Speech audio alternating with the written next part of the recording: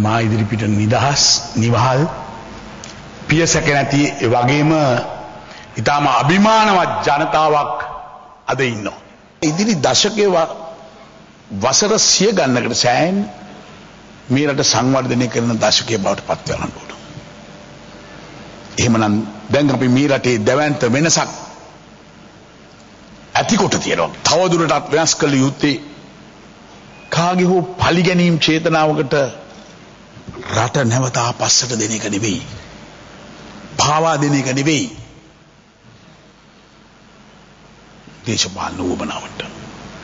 මිත්‍රෝල්නි.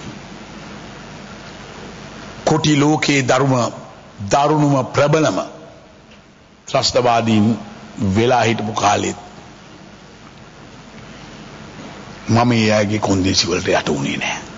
එදා අපි යුද්ධ කරනකොට කොටින්ට උදව් කළාය. කොටි හිතවාදී පිටරට කොටි නායකින් දැන් එක පිළකට ඇවිල්ලා. ජාති ආගම් පක්ෂ පාට බේද අතහැරලා මේ අය පරාද කරන්න අපි එකතු කරපු රට අපි නැවත එකතු කළ යුතුව තියෙනවා. එයක් හැදින්.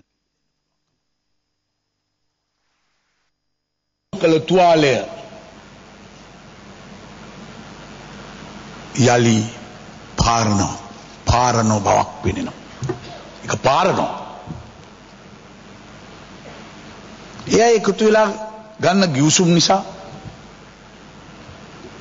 නැවත වතාවක් ඊලම් සටනකට පාර කැපෙන බව අද අපිට වැටහෙනවා.